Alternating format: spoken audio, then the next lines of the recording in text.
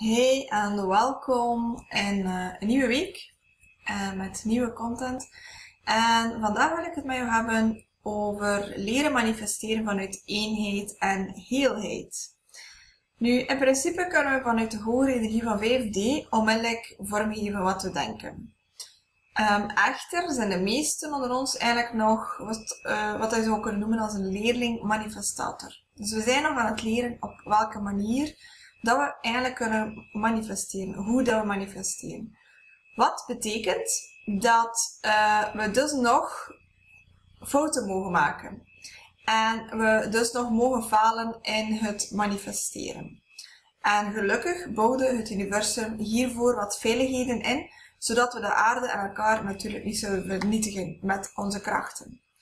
Nu, in orde om te leren wat dat eenheid is, worden alle dualiteiten in jouw leven benadrukt. Dat is eenheid versus dualiteit.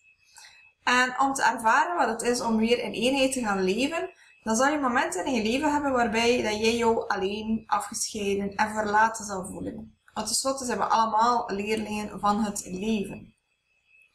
Doorheen obstakels en uitdagingen ontdekken we hoe dat de wetten van het universum werken. En terwijl hij uitzoekt hoe hij via gedachten en creatieve visualisatie wensen kan aantrekken en vormgeven, vergeten we dat er eigenlijk nog ook een emotioneel level is waarmee dat we rekening moeten houden. Um, affirmaties die werken pas wanneer je het ook volledig voelt in je lichaam. Wanneer je het echt uh, eigenlijk bent. En daarmee dat vele mensen totaal anders, uh, holistischer gaan gaan leven wanneer dat ze ontwaken. Ze ontdekken dat alles één is. En dat alles wat ze doen, wat ze denken, voelen, zien en ervaren, eigenlijk allemaal deel uitmaken van het grotere avontuur hier op aarde. Zolang hij blijft doen wat hij nu doet, zal je ziel zich dus altijd als een slaaf voelen. Vastzitten in het systeem van beperkingen en een voorgeschreven leven leiden waar er geen plaats is voor de uniekheid van jouw ziel. Manifesteren vanuit eenheid begint eigenlijk met begrijpen dat alles met elkaar verbonden is. En de energie van het ene in alles aanwezig is. En van zodra je dat beseft, ga je beseffen dat alle levels van jouw zijn betrokken mogen zijn of betrokken zijn bij het manifestatieproces. Alle levels gaande van energetische, mentale, emotionele en fysieke. Die zijn allemaal samen nodig om te kunnen manifesteren. Wanneer je enkel met affirmaties werkt, dat het uh, mentale level is, mentale niveau is, maar je voelt het niet in je lichaam, dan zal het veel langer duren voordat dat de manifestatie in je leven verschijnt. Mensen zijn in staat om heel snel te manifesteren, maar we maken het veel moeilijker dan het is omdat we denken dat het niet zo eenvoudig kan zijn. Er moet toch van alles gebeuren. Het moet toch lang duren.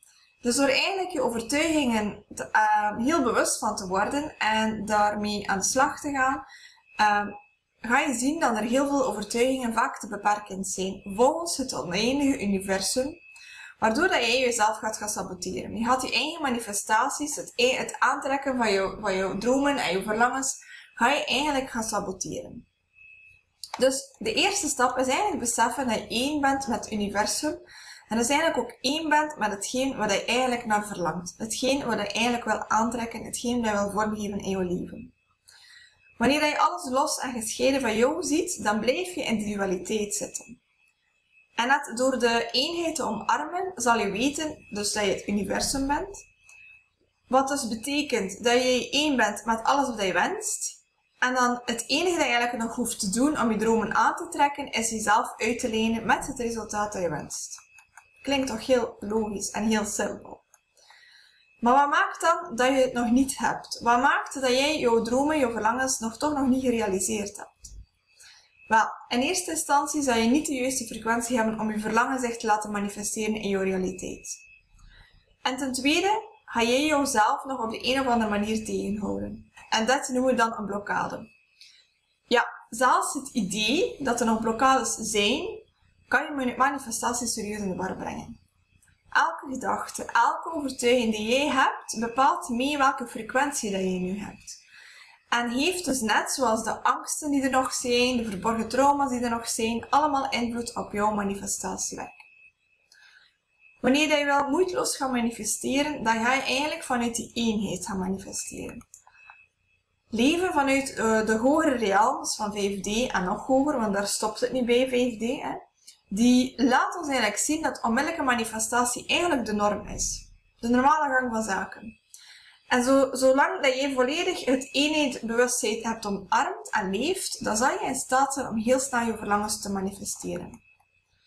Maar vergeet niet dat de aarde nog steeds een 3D-plaats is, ook al is het bewustzijn van de aarde ondertussen naar 6D gegaan. Maar dat betekent dat materie nog steeds uit een zwaardere, dichtere, dichtere energie bestaat, waardoor het kan zijn dat je manifestatie soms even op zich laat wachten. Wat dat ervoor zorgt dat we vaak beginnen te twijfelen aan, zijn we wel goed bezig? En waardoor dat we eigenlijk dan op dat moment weer opnieuw eigenlijk een manifestatieproces gaan blokkeren door te gaan twijfelen, door op een negatieve manier te gaan denken en eigenlijk niet meer te vertrouwen dat het aankomt, dat het er is. Verder kan je manifestatie ook beïnvloed worden door de vrije wil van andere zielen. Zeker als je bijvoorbeeld een relatie met een specifiek persoon wenst te manifesteren, dan kan het zijn dat dit er nooit zal komen omwille van de vrije wil van die andere persoon. Dus daarom is het belangrijk om zuiver te zijn in hetgeen dat je wenst te manifesteren. Want dat zal er automatisch voor zorgen dat je iemand aantrekt die wel bij je past en die wel beschikbaar is. En misschien was het inderdaad niet die persoon die je op het oog had, maar het zal wel de persoon zijn die op dit ogenblik resoneert met jouw frequentie en die jou hetgeen komt leren wat dat jij nu nodig hebt en dus voor jou hoogste goed is. En dat is zowel een relaties zo, maar dat is ook zo naar leraren toe, naar coaches toe, naar mensen die je eigenlijk verder kunnen helpen en die eigenlijk jou iets komen tonen, iets jou komen, een inzicht komen brengen.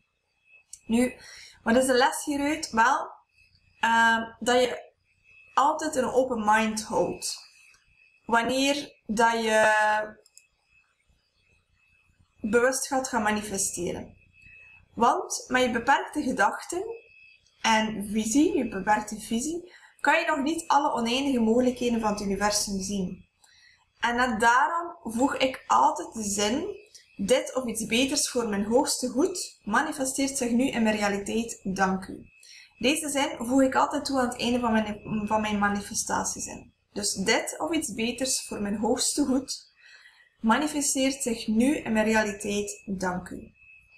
En waarom doe ik dat? Net omdat ik weet en ervaren heb dat uh, je op dat moment de weg opent voor nog betere realisaties dan wat jij op dit moment nog maar kan zien met bewustzijn dat jij nu op dit moment hebt.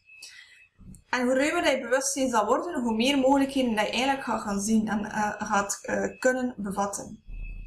Want dat, dat is het uiteindelijk. We manifesteren via ons bewustzijn.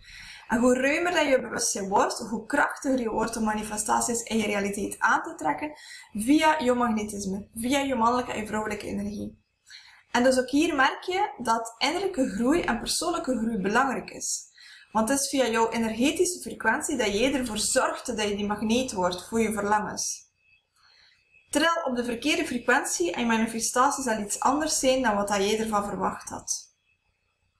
Dus kijk op dit moment waar je nog niet het verwachte resultaat hebt. Wat houdt er jou nog tegen en welke les heb je eerst nog te leren? Waar mag je nog meer voor jezelf opkomen en van jezelf houden?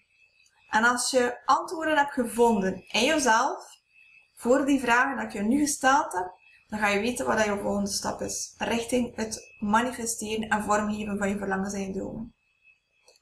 Zo, ik hoop dat het jou wat uh, inzichten heeft gebracht en ik wens jou vast heel veel succes in jouw manifestatie.